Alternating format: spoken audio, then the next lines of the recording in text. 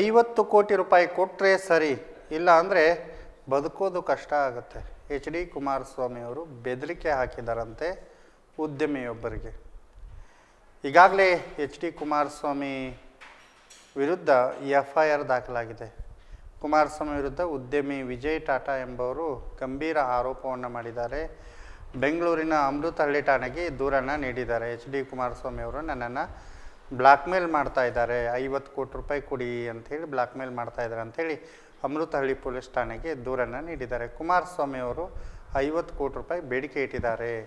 ನಿಖಿಲ್ ಕುಮಾರಸ್ವಾಮಿ ಅವರನ್ನು ಚನ್ನಪಟ್ಟಣದ ಉಪಚುನಾವಣೆಗೆ ಕಣಕ್ಕೆ ಇಳಿಸ್ತಾ ಇದ್ದೀನಿ. ಹಾಗಾಗಿ ಐವತ್ತು ಕೋಟಿ ರೂಪಾಯಿ ಕೊಡಬೇಕು. ಐವತ್ತು ಕೋಟಿ ರೂಪಾಯಿ ಕೊಡದೇ ಇದ್ದರೆ ನಿಮ್ಮ ಪ್ರಾಜೆಕ್ಟ್ಗಳನ್ನು ನಾನು ಪೂರ್ಣಗೊಳಿಸೋದಕ್ಕೆ ಬಿಡೋದಿಲ್ಲ ಅಂಥೇಳಿ ಬೆದರಿಕೆಯನ್ನು ಹಾಕಿದ್ದಾರೆ ಅಂಥೇಳಿ ದೂರಿನಲ್ಲಿ ಈ ಹೇಳಿಕೆಯನ್ನು ವಿಜಯ್ ಟಾಟಾ ಅವರು ನೀಡಿರ್ತಕ್ಕಂಥದ್ದು. ಈ ದೂರಿನ ಪ್ರಕಾರ ಕುಮಾರಸ್ವಾಮಿ ಅವರ ವಿರುದ್ಧ ಮತ್ತು ಮಾಜಿ ವಿಧಾನ ಪರಿಷತ್ ಸದಸ್ಯ ರಮೇಶ್ ಗೌಡ ವಿರುದ್ಧ ಎಫ್ ಐ ಆರ್ ದಾಖಲಾಗಿದೆ. ಅಮೃತಹಳ್ಳಿ ಪೊಲೀಸ್ ಠಾಣೆಯಲ್ಲಿ. ರಮೇಶ್ ಗೌಡ ಎ ಒನ್ ಆರೋಪಿಯಾಗಿದ್ದರೆ ಕುಮಾರಸ್ವಾಮಿ ಅವರು ಎ ಟು ಆರೋಪಿಯಾಗಿದ್ದಾರೆ. ಅಮೃತಹಳ್ಳಿ ಪೊಲೀಸ್ ಠಾಣೆಯಲ್ಲಿ ಈ ಪ್ರಕರಣ ದಾಖಲಾಗಿರ್ತಕ್ಕಂಥದ್ದು. ಹಾಗಾದರೆ ಎಫ್ ಐ ಆರ್ನಲ್ಲಿ ಏನೆಲ್ಲ ಇದೆ ಅನ್ನೋದನ್ನು ನೋಡೋದಾದರೆ, ಆಗಸ್ಟ್ ಇಪ್ಪತ್ತ್ನಾಲ್ಕನೇ ತಾರೀಕು ವಿಜಯ್ ಟಾಟಾ ಅವರ ಮನೆಗೆ ಮಾಜಿ M L C Ramesh Gowda ಬಂದಿದ್ದರು ಊಟ ಮಾಡ್ತಾಯಿದ್ರು ಊಟ ಮಾಡ್ತಾ ಮಾಡ್ತಾ ಚನ್ನಪಟ್ಟಣದ ಉಪಚುನಾವಣೆಯ ಬಗ್ಗೆ ವಿವರಣೆ ನೀಡ್ತಾಯಿದ್ರು ಯಾರು? ರಮೇಶ್ ಗೌಡ ಅವರು. ನಿಖಿಲ್ ಅವರಿಗೆ ಟಿಕೆಟ್ ಅಂತಿಮ ಆಗಿದೆ. ನೀವು ಕೂಡ ರಾಜಕಾರಣದಲ್ಲಿ ಸಕ್ರಿಯ ಆಗಬೇಕು ಅಂಥೇಳಿ ಮನವಿಯನ್ನು ಮಾಡ್ಕೊಳ್ತಾರೆ ರಮೇಶ್ ಗೌಡ. ಇದೇ ವೇಳೆ ಎಚ್ ಡಿ ಕುಮಾರಸ್ವಾಮಿಗೆ ರಮೇಶ್ ಗೌಡ ಅವರು ಕರೆ ಮಾಡಿ ಕೊಡ್ತಾರೆ. ಬಳಿಕ ಕುಮಾರಸ್ವಾಮಿ ಜೊತೆ ಮಾತನಾಡೋದಕ್ಕೆ ವಿಜಯ್ ಟಾಟಾ ಅವರ ಕೈಗೆ ರಮೇಶ್ ಗೌಡ ಅವರು ಫೋನನ್ನು ಕೊಡ್ತಾರೆ. ಕುಮಾರಸ್ವಾಮಿ ಚನ್ನಪಟ್ಟಣದ ಉಪಚುನಾವಣೆ ಬಗ್ಗೆ ಪ್ರಸ್ತಾಪವನ್ನು ಮಾಡ್ತಾರೆ. ಈ ವೇಳೆ ಉಪಚುನಾವಣೆಯ ಖರ್ಚಿಗೆ ಐವತ್ತು ಕೋಟಿ ರೂಪಾಯಿ ಬೇಕು, ಕೊಡಬೇಕಾಗತ್ತೆ ಅಂತೇಳಿ ಕುಮಾರಸ್ವಾಮಿ ಅವರು ಹೇಳ್ತಾರಂತೆ. ಸರ್, ನನ್ನ ಬಳಿ ಅಷ್ಟೊಂದು ಹಣ ಇಲ್ಲ ಅಂಥೇಳಿ ವಿಜಯ್ ಟಾಟಾ ಅವರು ಹೇಳ್ತಾರೆ. ನನ್ನ ಮಾತಿನಿಂದ ಕುಮಾರಸ್ವಾಮಿ ಅವರು ಕೋಪಗೊಳ್ತಾರೆ. ಐವತ್ತು ಕೋಟಿ ರೂಪಾಯಿ ರೆಡಿ ಮಾಡು. ಇಲ್ಲವಾದರೆ ನಾನು ಏನು ಮಾಡ್ತೀನೋ ನನಗೇ ಗೊತ್ತಿಲ್ಲ. ರಿಯಲ್ ಎಸ್ಟೇಟ್ ಮಾತ್ರ ಅಲ್ಲ ಬದುಕೋದು ಕೂಡ ಕಷ್ಟ ಆಗುತ್ತೆ ಅಂಥೇಳಿ ಬೆದರಿಕೆಯನ್ನು ಹೇಳ್ತಾರೆ ಫೋನ್ನಲ್ಲಿ ಅಂಥೇಳಿ ಕುಮಾರಸ್ವಾಮಿ ಅವರ ವಿರುದ್ಧ ಗಂಭೀರ ಆರೋಪವನ್ನು ವಿಜಯ್ ಟಾಟಾ ಅವರು ಮಾಡ್ತಾರೆ. ಬಳಿಕ ರಮೇಶ್ ಗೌಡ ದೇವಸ್ಥಾನ ಶಾಲೆ ಕಟ್ಸೋದಕ್ಕೆ ಐದು ಕೋಟಿ ರೂಪಾಯಿ ಕೊಡಿ ಅಂಥೇಳಿ ಮನವಿಯನ್ನು ಮಾಡ್ಕೊತಾರೆ. ಹಣ ನೀಡದೇ ಇದ್ದರೆ ನಿಮಗೆ ತೊಂದರೆ ಆಗತ್ತೆ ಅಂತೇಳಿ ಧಮಕಿಯನ್ನು ಕೂಡ ವಿಜಯ್ ಟಾಟಾ ಮಾಡಿರುವ ಆರೋಪದಲ್ಲಿ, ಅಂದರೆ ಎಫ್ ಐ ಆರ್ನಲ್ಲಿ ಈ ಎಲ್ಲ ವಿವರಣೆಗಳು ಉಲ್ಲೇಖ ಆಗಿದೆ.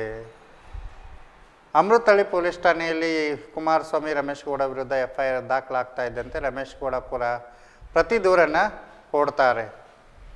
ಏನಂತ ಪ್ರತಿ ದೂರನ್ನು ಕೊಡ್ತಾರೆ? ಅಮೃತಹಳ್ಳಿ ಪೊಲೀಸ್ ಠಾಣೆಯಲ್ಲಿ ವಿಜಯ್ ಟಾಟಾ ವಿರುದ್ಧ ಪ್ರತಿ ದೂರ ನೀಡ್ತಾರೆ. ವಿಜಯ್ ಟಾಟಾ ಅವರೇ ನನ್ನ ಬಳಿ ನೂರು ಕೋಟಿ ರೂಪಾಯಿಯನ್ನು ಕೊಡುವಂತೆ ಹೇಳ್ತಾರೆ. ಆಗಸ್ಟ್ ಇಪ್ಪತ್ತನೇ ತಾರೀಕು ಅವರು ನನ್ನನ್ನು ಕರೆಸಿದ್ರು, ಮನೆಗೆ ಕರೆಸಿದ್ರು, ಮನೆಗೆ ಊಟಕ್ಕೆ ಕರೆಸಿದ್ರು. ಈ ವೇಳೆ ಉದ್ಯಮಿ ವಿಜಯ್ ಟಾಟಾ ಅವರು, ನಾನು ತುಂಬ ಲಾಸಲ್ಲಿದ್ದೀನಿ, ನನಗೆ ಹಣ ಬೇಕಾಗಿದೆ, ನೂರು ಕೋಟಿ ರೂಪಾಯಿ ಕೊಡಿ, ಇಲ್ಲವಾದರೆ ನಿಮ್ಮನ್ನು ಮತ್ತು ಕುಮಾರಸ್ವಾಮಿ ಅವರನ್ನು ಬಿಡಲ್ಲ ಅಂತ ಬೆದರಿಕೆ ಹಾಕಿದ್ದಾರೆ ಅಂಥೇಳಿ ರಮೇಶ್ ಗೌಡ ವಿಜಯ್ ಟಾಟಾ ವಿರುದ್ಧ ದೂರನ್ನು ನೀಡಿದ್ದಾರೆ. ಎರಡೂ ಕಡೆ ದೂರುಗಳು ದಾಖಲಾಗಿದೆ. ಎಚ್ ಡಿ ಕುಮಾರಸ್ವಾಮಿ ಅವರ ವಿರುದ್ಧ ಮತ್ತು ಈ ರಮೇಶ್ ವಿರುದ್ಧ ಎಫ್ ಐ ಆರ್ ದಾಖಲಾಗಿದೆ ಅಮೃತಹಳ್ಳಿ ಪೊಲೀಸ್ ಠಾಣೆಯಲ್ಲಿ.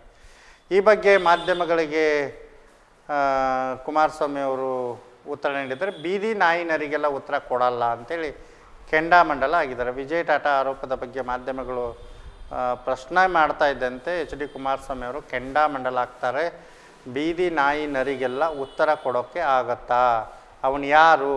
ಅವನ ಬಗ್ಗೆ ಯಾಕೆ ಚರ್ಚೆ ಮಾಡಲಿ ಅಂಥೇಳಿ ಮಾಧ್ಯಮಗಳ ವಿರುದ್ಧ ಗುರ್ರ್ ಅಂತಾರೆ ಎಚ್ ಡಿ ಕುಮಾರಸ್ವಾಮಿ ಅವರು.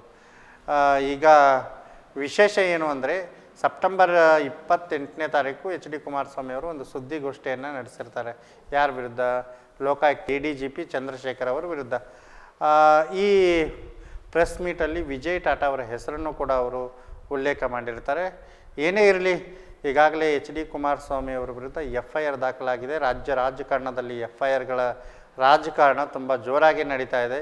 ಎಚ್ ಡಿ ಕುಮಾರಸ್ವಾಮಿ ಅವರು ಐವತ್ತು ಕೋಟಿ ರೂಪಾಯಿಗೆ ಬೇಡಿಕೆ ಇಟ್ಟಿದ್ದಾರೆ. ಹಾಗಾಗಿ ಎಚ್ ಡಿ ಕುಮಾರಸ್ವಾಮಿ ಮತ್ತು ರಮೇಶ್ ಕೂಡ ವಿರುದ್ಧ ಎಫ್ ಐ ಆರ್ ದಾಖಲಾಗಿದೆ. ದೂರು ಈ ವಿಜಯ್ ಟಾಟಾ ಅವರು ಈ ಬಗ್ಗೆ ಒಂದು ಪ್ರತಿಕ್ರಿಯೆಯನ್ನು ನೀಡ್ತಾರೆ. ಪ್ರತಿ ದೂರಿನ ಬಗ್ಗೆ ಪ್ರತಿಕ್ರಿಯೆಯನ್ನು ನೀಡಿ, ನಾನು ಯಾಕೆ ನೂರು ಕೋಟಿ ರೂಪಾಯಿ ಅವರ ಹತ್ರ ಕೇಳಿ, ನನಗೆ ಅವಶ್ಯಕತೆ ಇಲ್ಲ. ಅಂಥೇಳಿ ಅದು ಅಲ್ಲದೆ ಅವ್ರು ಯಾರು ಅಂತಲೇ ನನಗೆ ಗೊತ್ತಿಲ್ಲ. ನಾನು ಹೇಗೆ ನೂರು ಕೋಟಿ ರೂಪಾಯಿ ಕೇಳಿ ಅನ್ನೋ ಒಂದು ಪ್ರತಿಕ್ರಿಯೆಯನ್ನು ನೀಡಿದ್ದಾರೆ. ಒಟ್ಟಿನಲ್ಲಿ ಇಬ್ಬರ ವಿರುದ್ಧ ಎಫ್ ಐ ಆರ್ ದಾಖಲಾಗಿದೆ. ತನಿಖೆ ಕೂಡ ಪ್ರಾರಂಭವಾಗಿದೆ ನೋಡಬೇಕು. ಕುಮಾರಸ್ವಾಮಿ ವಿರುದ್ಧ ಈಗ ದೂರು ದಾಖಲಾಗಿದೆ. ರಾಜ್ಯ ರಾಜಕಾರಣದಲ್ಲಿ ಇದು ಯಾವ ರೀತಿಯ ಸ್ವರೂಪವನ್ನು ಪಡೆದುಕೊಳ್ಳುತ್ತೆ ಕಾದು ನೋಡಬೇಕು.